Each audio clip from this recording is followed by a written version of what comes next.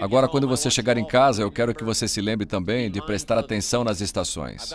Eu tenho um tópico agora chamado As Quatro Principais Lições para Aprender na Vida. Eu fiz isso em algum momento no passado, mas já faz um tempo. E para aqueles que são novatos, eu gostaria que vocês entendessem o que eu vou compartilhar com vocês agora. Eu acho que vai ser valioso, vai ser importante. Portanto, anote essa frase: A vida e os negócios são como a mudança das estações. Essas são algumas informações valiosas que recebi quando era jovem, apenas começando a vida. A vida e os negócios são como as estações. E aqui está a próxima frase: Você não pode mudar as estações. Isso é impossível. Você não pode mudar a ordem das estações. Você não pode dizer, bem, eu vou pegar cinco estações de colheita, nenhum inverno, algumas primaveras e um ou dois verões. Não dá para mudar a ordem delas. As estações vão chegar da forma que vierem e você não pode mudar isso. Portanto, você não pode mudar as estações. Mas anote o seguinte: você pode mudar a si mesmo. Essa foi a mensagem que recebi quando eu tinha 25 anos de idade, com alguém que dedicou um tempo para me ensinar. Você pode mudar a si mesmo. E a propósito, apenas os seres humanos têm essa capacidade extraordinária de fazer mudanças dramáticas em suas vidas. Todas as outras formas de vida, exceto os seres humanos, são orientados pelo instinto e código genético. Nos Estados Unidos, os gansos só podem voar para o sul no inverno. E por que o ganso precisa voar para o sul no inverno dos Estados Unidos? Porque são gansos. Eles não podem voar em outra direção. Porém, isso não é verdadeiro para os seres humanos. Os seres humanos podem ir para o norte, eles podem ir para o sul, eles podem ir para o leste, eles podem ir para o oeste. Os seres humanos podem viver de uma forma durante cinco anos e depois rasgar o roteiro e viver de uma forma totalmente diferente nos cinco anos seguintes. Seres humanos podem fazer isso. Eu estou pedindo para você usar o seu poder como ser humano e mudar a sua vida até onde você quiser mudança. Se você quiser que sua renda mude, e eu estou dizendo, você tem o poder de mudar isso. Com o plano de marketing da Herbalife e esses produtos incríveis, você pode fazer isso. Qualquer ano que você escolher, você pode fazer mudanças incríveis na sua vida. Você não é uma árvore, você não precisa ficar. Você não é um ganso, você não precisa voar para o sul. E eu estou te dizendo, quando você quiser, pode dizer: eu vou mudar a minha atitude, eu vou mudar a minha renda, eu vou mudar as minhas habilidades, eu vou fazer mais do que jamais fiz antes. Pegue isso como um presente de Deus, seu direito como ser humano de poder mudar a sua vida o quanto você quiser.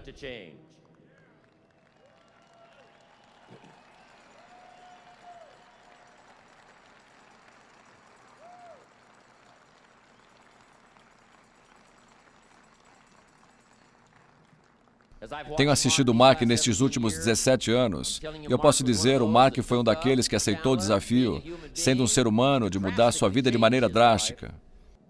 Nesses anos, desde que ele tinha uns 20, nos últimos 20 anos, ele criou os produtos da Herbalife. Que mudança, que transformação. E se o Mark pode, você também pode. Se eu consigo, você também consegue. Se os membros da equipe de presidentes conseguiram, não tem ninguém aqui que não consegue mudar dramaticamente o curso e a qualidade da sua vida. Portanto, aprenda o valor das estações agora. Você não pode mudá-las, mas você pode mudar a si mesmo. Aqui estão as quatro principais lições que você deve aprender. Número um, aprenda a lidar com os invernos. Isso é um fato da vida. O inverno vem depois do outono, a colheita. E me digam qual a frequência. Seis mil anos que nós conhecemos de história registrada que o inverno vem depois do outono. A noite vem depois do dia. A dificuldade segue a oportunidade. A recessão sempre vem depois da expansão.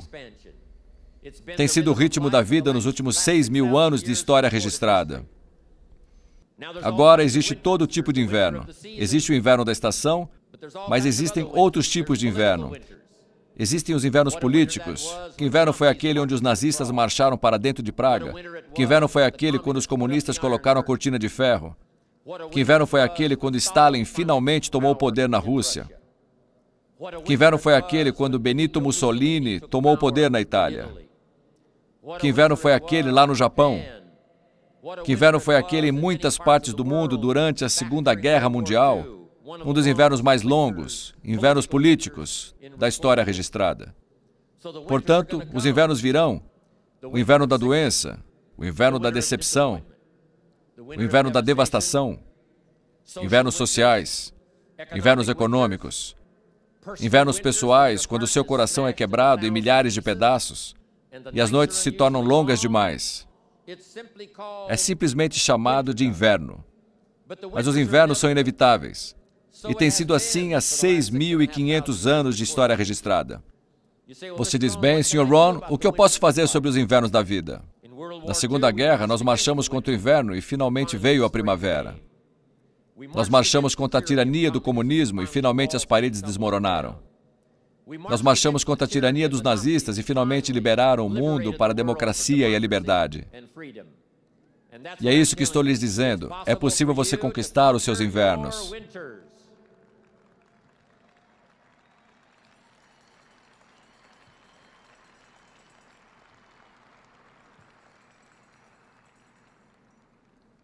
E alguns são invernos pequenos, quando você recebe o seu primeiro salário. Um pequeno inverno. Quando você vê alguém que organizou uma reunião, está pronto para contar sua história e ninguém aparece, isso é um pedaço de inverno. Mas isso vai chegar o inverno de um divórcio, o inverno de uma morte na família, o inverno de uma tragédia. Existem coisas que não conseguimos entender, mas nós sabemos o seguinte: é possível passar pelo inverno. Agora, o que é emocionante sobre a passagem do tempo, ele te leva através do que você está passando naquele momento. É isso que o tempo faz. Ele faz você passar pelo inverno. Agora, como você lida com os invernos? Faça essa pequena anotação. Você pode melhorar e você pode ficar mais forte, você pode ficar mais sábio. Não existe inverno que você não possa superar, não existe inverno que você não possa descobrir como sobreviver. Não existe inverno forte o suficiente que você não possa superar com a engenhosidade de um ser humano, especialmente com a oportunidade Herbalife, descobrir uma forma de superar. Calma, faça essa anotação. Os invernos não duram para sempre. Sim, a tirania dos nazistas durou mais ou menos cinco anos, mas logo terminou. Sim, a tirania do comunismo durou 75 anos, mas finalmente aquele longo inverno passou. Portanto, torne-se mais sábio, mais forte, melhor para lidar com os invernos que virão na sua vida. E com a força da família Herbalife, com a força do treinamento, com a força desses produtos incríveis, com a autoestima explodindo por todo lado, com as habilidades que você vai desenvolver, você vai conseguir lidar com o que quer que venha por aí. Eu garanto isso a você.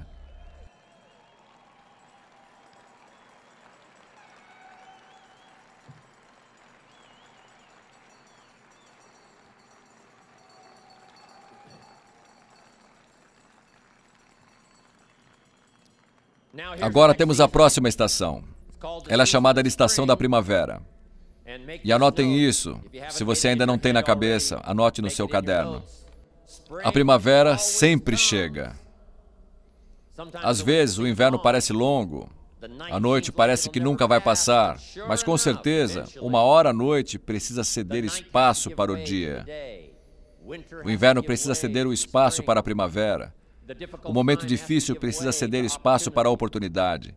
A recessão precisa ceder espaço, finalmente, para o progresso, para a expansão. E eu não sei que tipo de invernos você já passou, mas eu quero que você saiba que quando a história Herbalife chegou até os seus ouvidos, quando o marketing da Herbalife chegou na sua consciência e quando essa oportunidade foi passada para você, eu sei que para muitos de vocês foi chamada de a chegada da primavera. A longa noite passou e a oportunidade está aqui. A primavera sempre vem. Aguente firme quando a noite for longa. Aguente firme quando estiver escuro. Aguente firme quando não conseguir entender.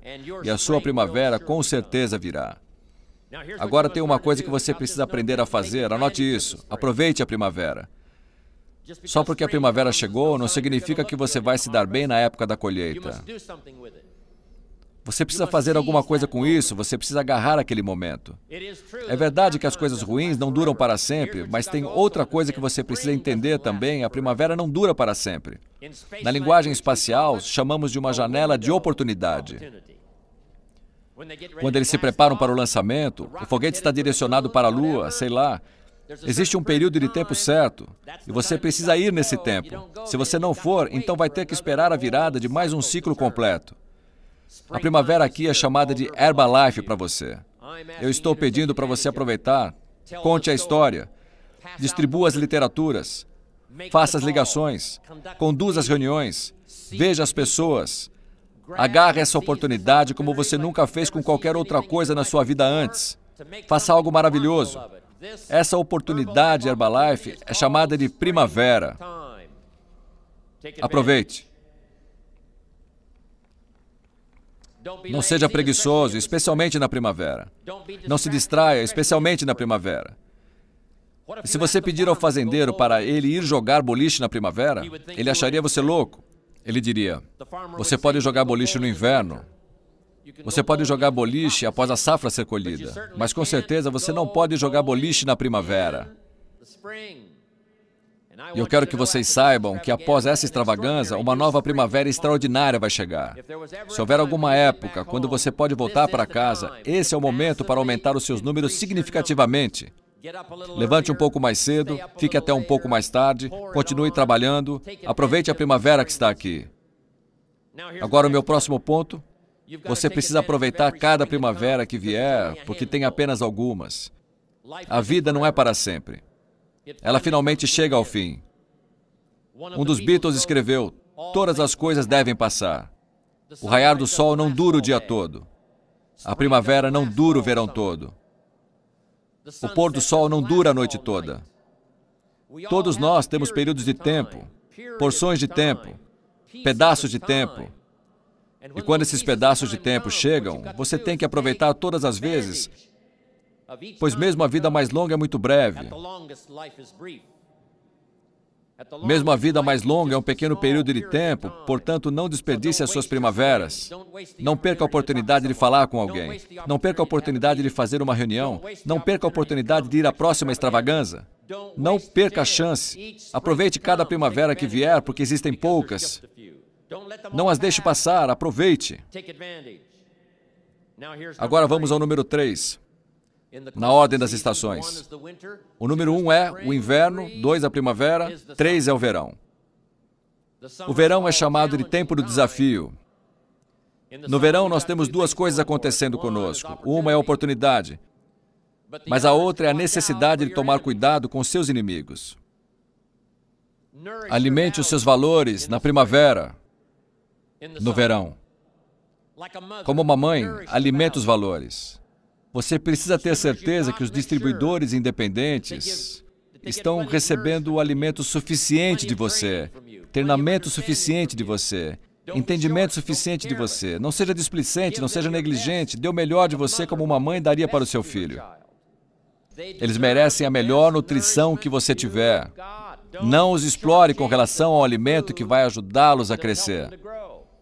Não segure informações que vão ajudá-los a aprender. Não deixe de passar para eles ideias que podem ajudá-los a transformar suas vidas.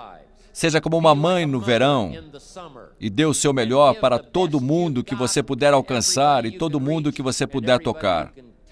Isso se chama criar uma oportunidade. Cuide daqueles que estão à sua volta.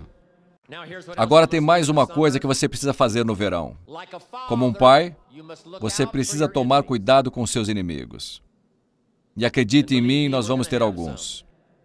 No mundo da política, durante a nossa vida, sempre existiram muitos inimigos da liberdade, inimigos da democracia, inimigos do livre comércio. Não faz muitos anos que era ilegal ter lucro em países comunistas. Não faz muito tempo que a democracia não florescia como hoje.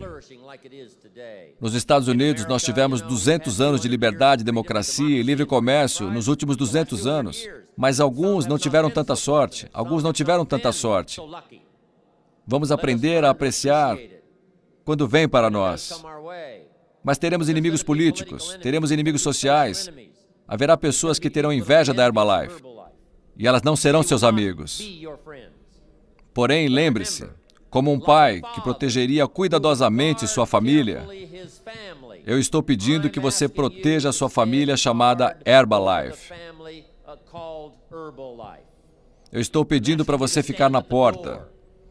Eu estou pedindo que se algo te ameaçar, ameace de volta. Se algo te empurrar, empurre de volta. Qualquer coisa que te oprimir, como um pai, fique de pé. Assuma o controle e lute contra os seus inimigos onde quer que você os encontre.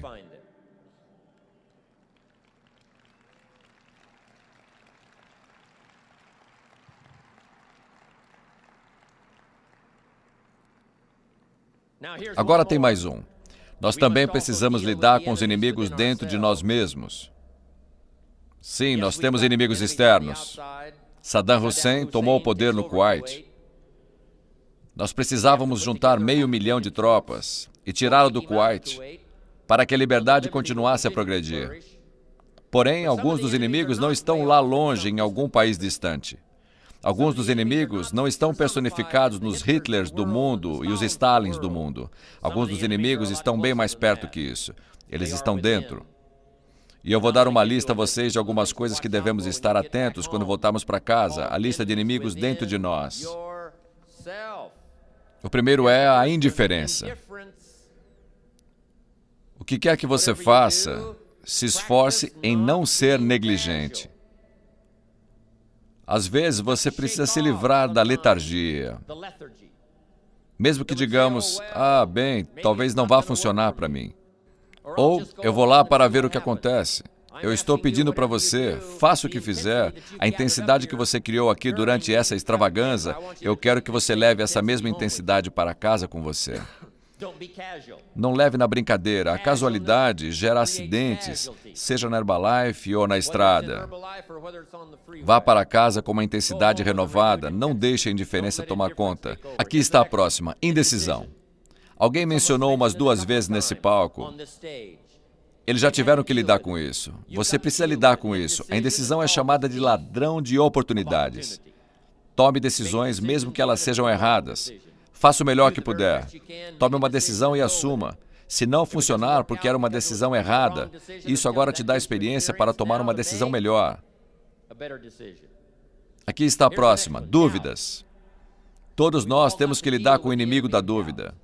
O cinismo tem um jeito único de se amontoar em nós, sendo cínicos sobre o governo, sendo cínicos sobre bancos e dinheiro, sendo cínicos sobre a sociedade, sendo cínicos sobre o passado, cínicos sobre o futuro. Eu peço a vocês que não deixem essa doença agarrar você pelo pescoço e arruinar as suas chances de se dar bem. Sim, é fácil duvidar de que pode acontecer. É fácil duvidar. Todos nós temos temores que querem nos envolver, e aqui está um dos piores de todos, que é duvidar de si mesmo. Eu sei que olhamos para o Mark, glamouroso, bonito, muito bem sucedido, e dizemos: Meu Deus, eu não acho que isso poderia acontecer comigo. Mas eu quero que você saiba que o Mark diz, e eu digo para vocês, que se pode acontecer conosco, pode acontecer com qualquer pessoa nessa sala. Não duvide da sua capacidade.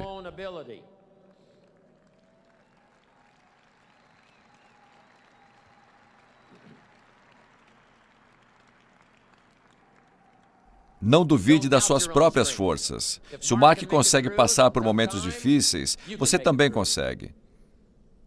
Se o Mark passou por momentos árduos, você também consegue passar por esses momentos. As noites eram longas para o Mark até ele conseguir e ele conseguiu. Você pode conseguir. Se eu posso, você pode.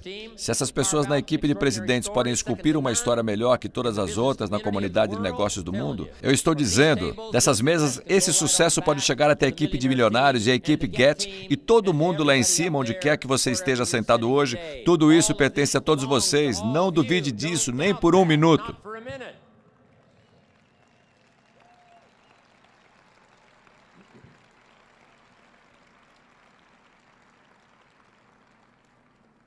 A próxima é preocupação. Eu quero dizer, você precisa se preocupar um pouco, mas aqui vai a dica: não deixe que isso te consuma. Se são duas horas da manhã e a sua filha não chegou em casa, sim, você precisa se preocupar. Se você estiver na cidade de Nova York, colocar o pé na rua e um daqueles táxis amarelos estiver chegando, sim, é melhor você se preocupar. Mas anote isso, deixe que a preocupação soe o alarme para você, mas não deixe que ela te consuma. Todos nós precisamos nos preocupar. Todos nós precisamos nos preocupar. Se existem inimigos por aí, precisamos nos preocupar. Se estiver indo bem, sim, precisamos nos preocupar. Mas eu te peço que deixe a preocupação alertar você, que soe o alarme, mas não deixe que ela te consuma. Pegue todas as preocupações e leve-as para o menor canto que conseguir achar. Se não fizer isso, a preocupação será um cachorro louco solto. Deixe-o no canto. Então não importa o inimigo, deixe-os naquele pequeno canto. Aqui está o próximo. Excesso de cautela. Na primavera, se você for cauteloso demais, você nunca vai plantar a semente. Se você for cauteloso demais, você não vai arriscar. Se você for cauteloso demais, não vai dar um passo para frente. Se você fosse cauteloso demais, você provavelmente nunca teria feito a sua primeira reunião. Anote isso. Você precisa arriscar. Controle a tendência de ser cauteloso demais. Leve-a para um canto. Sim, você não pode ser ingênuo. Não, você não pode cair em todas. Sim, você precisa ter cuidado. Sim, mas não seja tão cauteloso ao ponto disso te paralisar. Não seja tão cauteloso ao ponto de limitar a sua chance de progredir. Veja se você pode controlar isso. Aqui está o próximo: pessimismo. Sim, existe o lado obscuro, sim, existe um lado de problemas, sim, existe o lado difícil, mas eu estou dizendo que não é o único lado. Sim, o copo está metade vazio, mas também está metade cheio. Sim, existe o lado obscuro, mas existe o lado claro. Sim, a noite vem, mas o dia também vem. Eu estou dizendo, não tenha medo dos dois lados, a oportunidade e a dificuldade, a chance e o perigo. Aprenda como lidar com tudo isso. Agora, o último inimigo. Quando você voltar para casa, você precisa lidar com isso. Eu preciso lidar com isso. Todos nós precisamos lidar com isso, as reclamações. Sim, existe espaço para uma reclamação legítima. Sim, existe espaço para uma reclamação de negócios legítima. Sim, existe espaço para uma reclamação legítima no 13º andar. Sim, existe espaço para uma reclamação legítima do depósito. Sim, existe espaço para uma reclamação legítima de vez em quando de uma pessoa para outra. Porém, estou pedindo o seguinte: não deixe que o ato de reclamar domine a sua vida. Se você se tornar um reclamador crônico, eu estou dizendo, ninguém vai querer ficar do seu lado. Reclamador crônico, eu não gostaria de ter você como um parceiro de negócios. Não deixe o ato de reclamar assumir a sua vida. Veja se consegue colocar isso num pequeno canto. Essa é a estação do verão.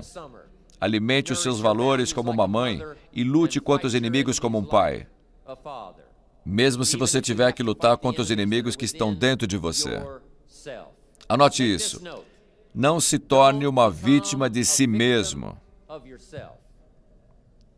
É possível se tornar vítima de uma tragédia. É possível se tornar uma vítima de fofoca. É possível se tornar vítima de coisas que acontecem por aí. Mas a coisa mais importante é o seguinte: não se torne uma vítima de si mesmo. Esqueça o ladrão no beco que está atrás da sua bolsa. Que tal o ladrão na sua mente que está atrás da sua promessa? O ladrão na sua mente que diz que você é muito baixo. O ladrão na sua mente que diz que você é muito alto. O ladrão na sua mente que diz: bem, sim, vai acontecer com as pessoas lá na Califórnia, mas não pode acontecer aqui desse lado do mundo. Eu peço para vocês controlarem esse ladrão, mesmo que vocês o encontrem em sua própria consciência. Eu quero assegurar a vocês de que podem fazer isso. Eu quero assegurar que vocês podem tomar as decisões. Eu quero assegurá-los que não importa a noite, não importa qual a tempestade, não importa qual a dificuldade, não tem ninguém aqui que não possa achar respostas, achar coisas a fazer. Um passo por vez, sim. Um minuto, um dia, uma semana por vez, sim. Mas não tem nada que você não pode lidar. Não existe nenhum desafio que você não pode superar. Eu quero que vocês tenham esse tipo de crença em si mesmos. Agora vamos à última estação.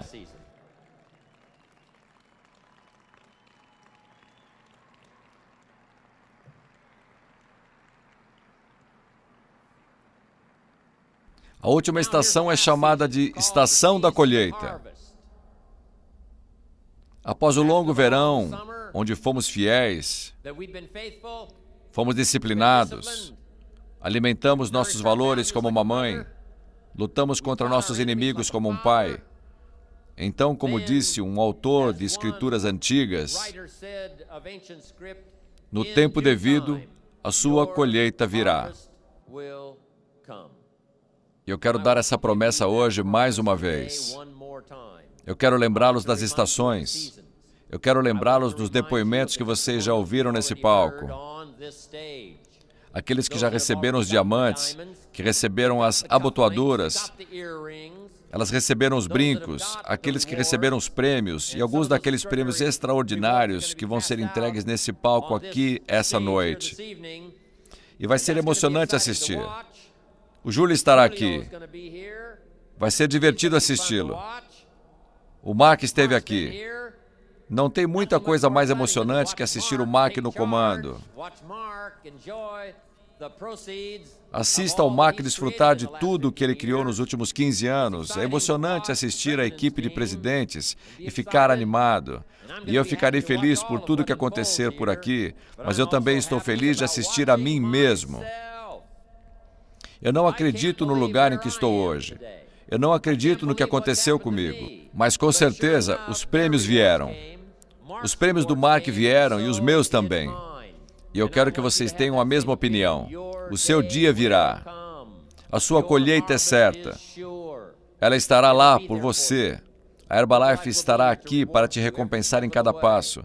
Não importa os passos de progresso que vai dar, pode dar. A Herbalife estará aqui para recompensá-lo. E quando você finalmente andar pelo palco assim, essa noite, será uma emoção além da imaginação. Então você poderá dizer: puxa vida, o trabalho árduo que eu fiz valeu a pena. As noites solitárias valeram a pena. Desenvolver o negócio arduamente todos os dias valeu a pena. E a minha colheita finalmente chegou.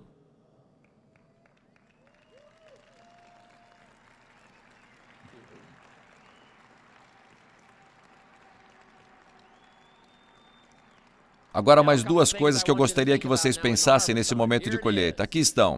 Aceite a sua colheita pessoal com responsabilidade total. Não precisa reclamar, porque a colheita é sua. Se a Herbalife faz o melhor possível, produz os melhores produtos e o melhor marketing, o sistema de suporte é melhor que qualquer outro. Se tudo isso foi providenciado para você, o resto depende de você. Qualquer que seja a sua colheita, você precisa dizer que é a sua colheita. Não reclame. Assuma a responsabilidade. Aqui está a próxima. Não se desculpe. Quando você for para casa com as recompensas que você vai receber aqui, especialmente você na equipe de presidentes, Chairman's Club, equipe de milionários, equipe Get, jovens que receberam uma honra especial, com esses assentos de honra aqui nessa extravaganza, eu quero que vocês cheguem em casa mais orgulhosos do que jamais estiveram. E eu quero que vocês digam o seguinte quando chegarem em casa: Eu mereço a honra. Eu consegui e eu mereci. Eles não distribuem diamantes sem trabalho. Nós não entregamos diamantes para aqueles que são apenas parentes. Nós não entregamos esses prêmios extraordinários e honramos aqueles que não fazem o trabalho. Aqueles que fazem o trabalho têm ganhos e aqueles que fazem o trabalho recebem as honras. E eu tenho orgulho de todos vocês aqui hoje.